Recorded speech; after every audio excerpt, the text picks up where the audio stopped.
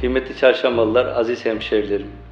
2020 yılının son saatlerinden 2021 yılına geçerken hepinizin yeni yılını en içten dileklerimle tebrik ediyorum.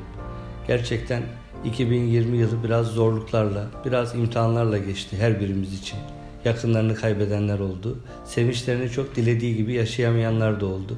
İnşallah 2021 yılı hem bizler için hem dünya için hem insanlık için hem de çocuklarımızla, ana babalarımızla, sevdiklerimizle, eşlerimizle beraber güzel bir aile yuvasını hissettiğimiz hanelerimizde hepimiz için esenlik dolu bir yıl olur. Günleri hayırlı olur, bereketli olur.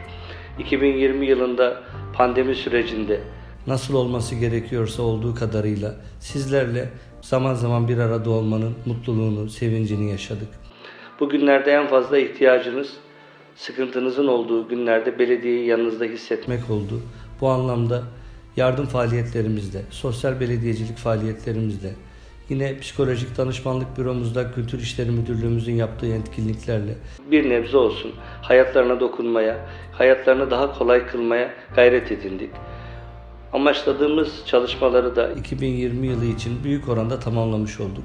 İnşallah 2021 yılı hem bu Covid hastalığının üzerimizdeki etkilerinin tamamen ortadan kaybolduğu, çocuklarımızın rahatça koşarak, oynayarak okullara gittiği, düğünlerimizde, sıkıntılı zamanlarımızda, mutluluklarımızda birbirlerimizle hiçbir düşünce olmaksızın sımsıkı sarılabildiğimiz günleri yaşarız.